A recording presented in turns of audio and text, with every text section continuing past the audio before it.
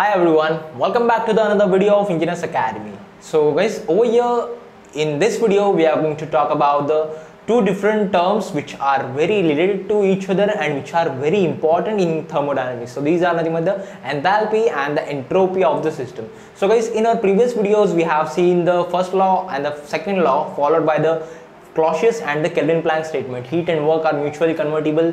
The heat will flow from cold body to hot body under the application of some external force. So guys over here in this video we are going to define this particular enthalpy and the entropy of the system. So guys if you're new to my educational channel you can subscribe it and you can press the bell icon so in case of my latest videos you will receive instant notifications. So guys without wasting in time let's begin with today's topic that is nothing but the enthalpy and the entropy of the system.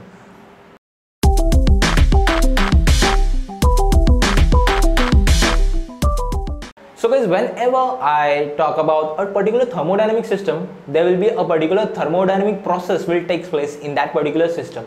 The heat will be converted into the work or else the heat will flow from one system to another system.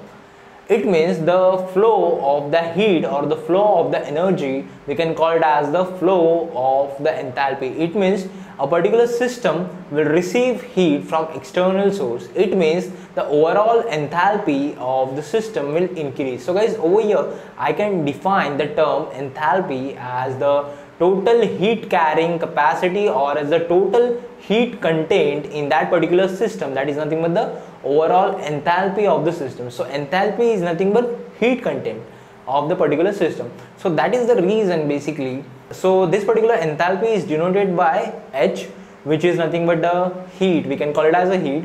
So the unit of this enthalpy that is the same that of the unit of the heat which is nothing but the joules basically. So guys now let's talk about the entropy. In universe the things want to move from ordered state to disordered state. Like the flow of the water. The flow of the water is not like uh, it is not overall. Like the uh, like the all the molecules which are arranged in the all the water molecules are not like uh, these are not like the arranged in a specific manner. In a specific uh, uh, manner or else in a specific structure in a specific pattern basically. So the flow of the water like it will be a most disordered state in which the molecules are you know are not arranged in a particular pattern. It is uh, the molecules it is the state in which the molecules are in a disordered state. In case of gases the molecules are very far away from each other and uh, it is the most disordered state. So guys over here we can define this particular entropy term as it is the measurement of the degree of disorder. So how this particular entropy term will relate to the thermodynamics so guys over here in case of thermodynamics a process will occurring. The heat will be flowing from one body to another body. So due to the like the due to the flow of the heat due to the increase in the temperature the particular like the molecules will start vibrating and due to that you know due to that uh, the degree of randomness will increase the entropy will increase as there will be a subsequent temperature increase in a particular system. So entropy is somewhat related to the temperature. It is also related to the pressure. As the pressure increases, the entropy of the system will also tends to increase. As the temperature increases, the entropy of the system will also increase. So guys, over here you need to understand that the entropy is nothing but the degree of randomness.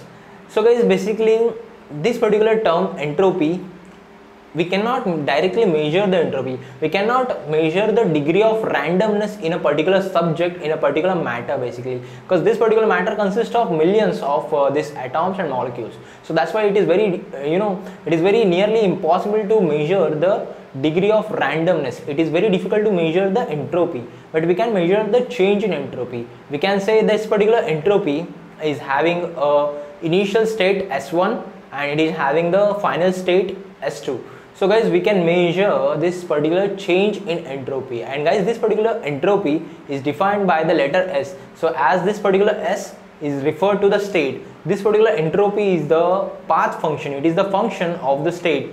It means suppose i am having a water. I reduce the temperature of the water, water will start freezing and it will convert into the ice. So in case of ice, the molecules are arranged in a proper manner in a proper order. So guys in case of the ice when it is at the solid state it is having less entropy over here in case of ice. In case of water water molecules are far away from each other. There are there is a degree of freedom which is associated with the water molecules so guys over here the water molecules are at the disordered state as compared to the ice. So over here the entropy of the water will increase.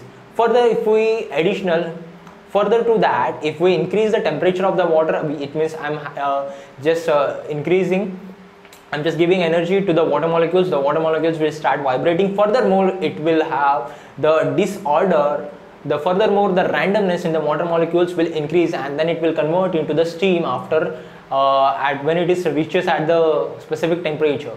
So guys over here in case of the steam steam is at the higher entropy because the degree of randomness will be more in case of steam. Now this particular entropy is related to the state basically. So as we have seen these are the two three different states over here solid, liquid and gaseous. So the entropy is related to it is subjected to the state function. So that's why the entropy is like denoted by letter S1 so as it is the state function. So guys over here in this video we have seen the enthalpy and the entropy of overall system. So guys over here so guys i hope you understood the simple terms. These are the enthalpy and the entropy of the system. So guys thanks for watching this video. Guys please do subscribe to my education channel engineers academy